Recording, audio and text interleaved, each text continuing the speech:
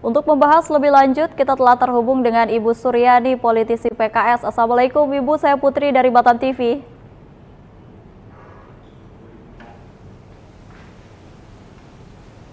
Assalamualaikum Ibu. Assalamualaikum. Ya, saya Putri dari Batam TV, Bu Suryani. Iya, Mbak Putri. Assalamualaikum. Selamat malam.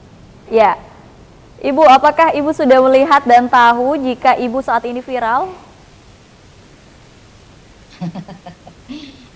Hari ini banyak sekali uh, eh, WA masuk ke saya terkait uh, gambar saya. Saya pun nggak tahu, Mbak, dari mana gambar itu, siapa yang buatnya, saya nggak tahu.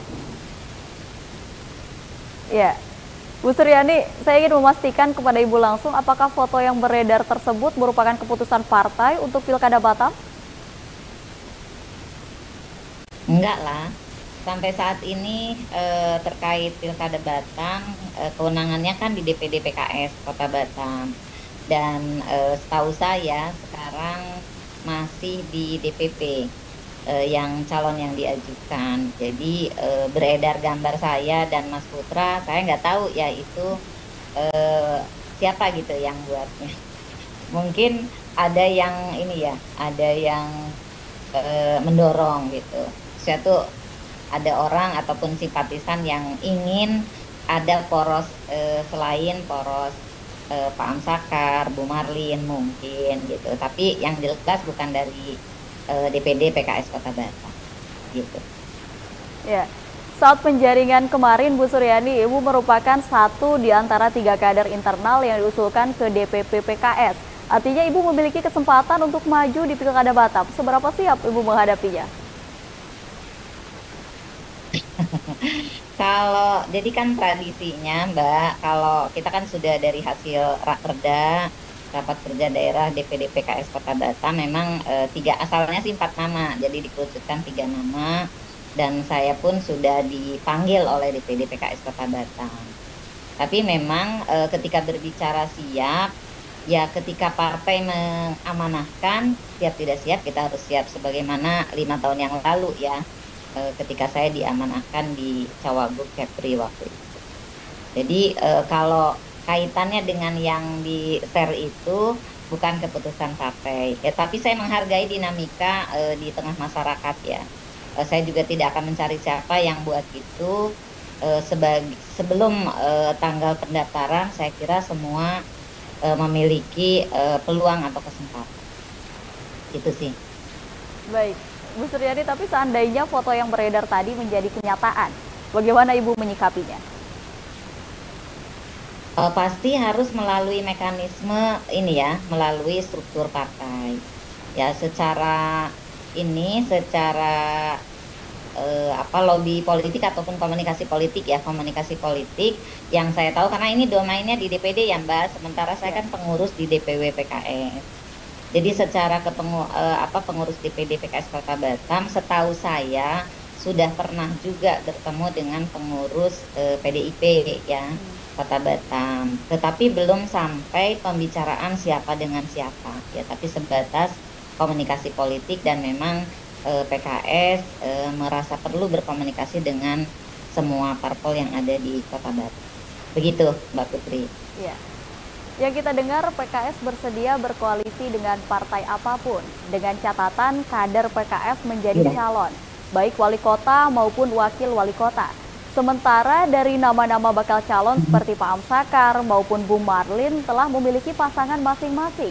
Apakah dengan modal 6 kursi di Kota Batam memungkinkan PKS membuat poros sendiri? Seharusnya memungkinkan.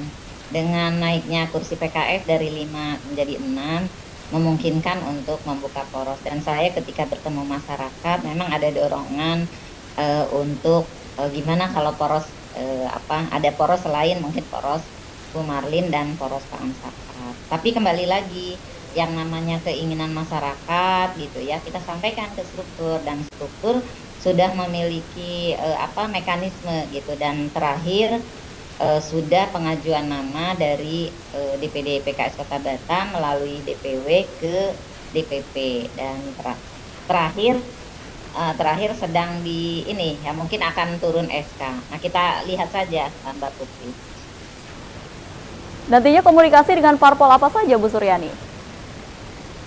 Jika membuat poros baru? Oh, hampir semua parpol. Hampir semua parpol saya kira ya. Oh maksudnya untuk membuat poros baru. Oh kalau itu itu keinginan mungkin ada beberapa suara ya dari masyarakat. Tapi kalau dari DPD sendiri sejauh ini saya belum mendapatkan tentang hal itu, itu membuat poros baru. Baik. Yang tahu saya masih uh, ada dua nama ya, uh, baik itu uh, dari eksternal ya. Tapi sejauh ini saya belum dapat informasi terbaru ya, Mbak Putri. Saya khawatir juga nih menyalahi yang seharusnya struktur DPD PKS Kota Batam yang berwenang menyampaikan. Tapi setahu saya sudah disampaikan nama-nama itu ke DPP. Tinggal nanti DPP sedang menggodoknya dan nanti akan keluar ke SK-nya. Ya, Bu Suryani Seperti kapan? itu sih, Mbak Putri. Iya. Kira-kira kapan rekomendasi dukungan Pilkada Batam dari DPP akan dikeluarkan, Bu? Ya, secepatnya. Saya kira karena kan mengantri ya dari provinsi, dari kota kabupaten lainnya se-Indonesia tentu e, perlu waktu gitu ya bukan hanya masalah SK tanda tangan tapi kan berbagai pertimbangan dan harus dipanggil satu-satu. Gitu. dan itu saya kira perlu waktu. Tapi yang jelas sebelum pendaftaran SK harus sudah ada. Ya seberapa besar kemungkinan PKS akan mengusung calon dari luar partai Bu Suryani? Ya harus harus e, koalisi pasti. Pasti mengusung Nah masalahnya maksudnya tuh mengusung yang ada kader e, eh, PKS gitu ya dalam hal ini e, wakil wali kotanya atau mungkin e, mendukung. Nah itu kita lihat nanti. Baik. Bu Suryadi terakhir, jika melihat dinamika yang saat ini terus berkembang, kira-kira kader dan simpatisan PKS lebih memilih kader sendiri atau orang luar? Ya pasti milih kader sendiri lah Mbak uh, mungkin effortnya itu kalau di berbagai uh, grup di berbagai kesempatan pasti uh, daya juangnya akan lebih uh, meningkat berkali lipat kalau kader sendiri yang maju gitu pasti. Itu ya Mbak Putri. Kita tunggu saja. Baik